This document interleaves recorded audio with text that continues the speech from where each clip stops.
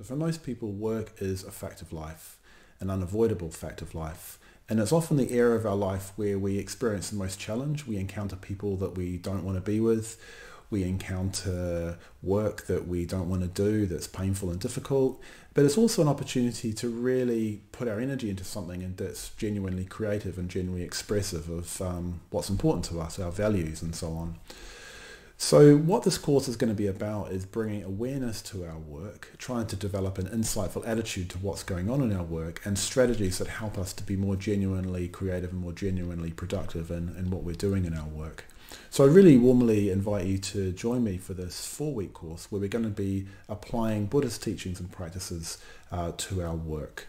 And the course starts on the 13th of April, which is a Tuesday, and runs for four weeks. And I'd, yeah, I'd love to see you there. So maybe see you there.